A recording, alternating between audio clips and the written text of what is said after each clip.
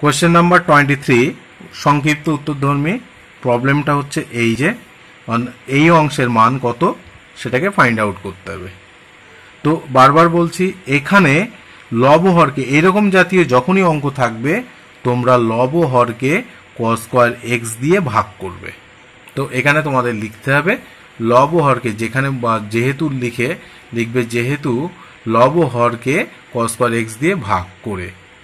ফলে কি পাওয়া যাবে রেজাল্ট লিখতে হবে সেক্স স্কোয়ার এক্স ডিএক্স এখানে কস স্কোয়ার এক্স দিয়ে ভাগ হয়েছে ফলে বি স্কোয়ার এখানে হবে এ স্কোয়ার ট্যান স্কোয়ার এক্সের পরের লাইনে দেখো, এইটাকে আমরা সেক্স স্কোয়ারের জন্য d tan x d tan x মানে তো সেক্স স্কোয়ার এক্স আমরা জানি সেক্স স্কোয়ার এক্স ডিএক্স জানি।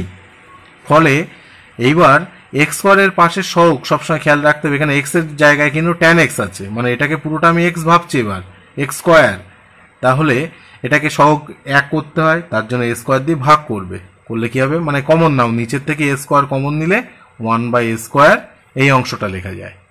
ফলে সূত্রটা কি? কোন সূত্রটা আমরা ব্যবহার করব? Dx by x square plus a স্কোয়ারের ইন্টিগ্রেশনের এই যে ফর্মুলা আছে, ওই ফর্মুলাটা আমরা ইউজ করব।